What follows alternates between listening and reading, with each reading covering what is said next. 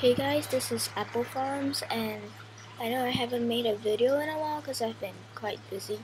So I've got my Adobe CS 5.5 Master Collection just yesterday and today I'm going to show you how you can create uh, how you can add text in Adobe Premiere Pro CS 5.5 but I'm pretty sure this works for um, CS5 and CS4 as well. Okay so what I'm gonna do is I'm gonna have my banner over here. Just gonna drag it in here first. Okay. And I want to resize it.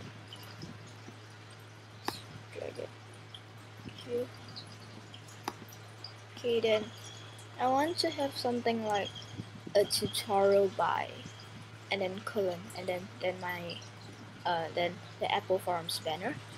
So what I'm gonna do is you have to go to title new title and then for this one I'll be choosing default still. Okay then you can just change it uh, just leave it as title 1 not that it matters. So here you have my banner and okay you're gonna click on this type tool press T. And I just want to type in uh, a tutorial by oh, okay it's too big. So just undo it command Z. Then so now we're gonna use I'm just gonna use a font. Like um just use a Courier. Then I'll just type in uh, okay I think I'm just gonna change the size because 100 is way too big. Let's go 36 let's type in a tutorial by Forums and just click on the selection tool the arrow. Then just put it here. And then you can add tutorial by Apple Forums just like that.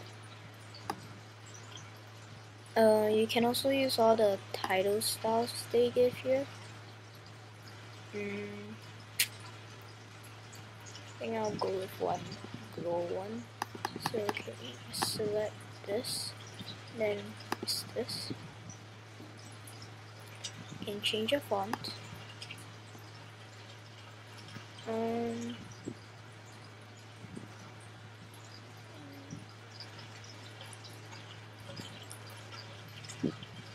okay, I have no idea what it font was.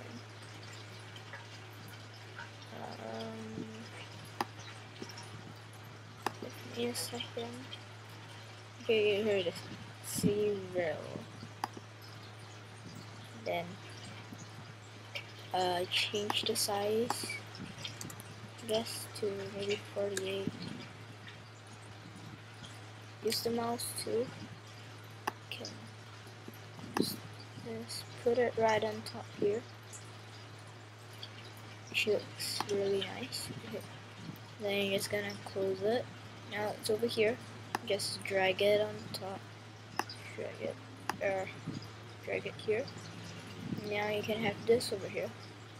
And just play it tutorial by Apple Forums and this can last for 5 seconds unless you change the time so um, and if there's anything you can just change it from here like if you don't like the position or anything so I hope you enjoyed this video I hope this was helpful and if this video has a good enough response I'll do more tutorials on Adobe Premiere Pro CS 5.5 Thanks for watching. Bye.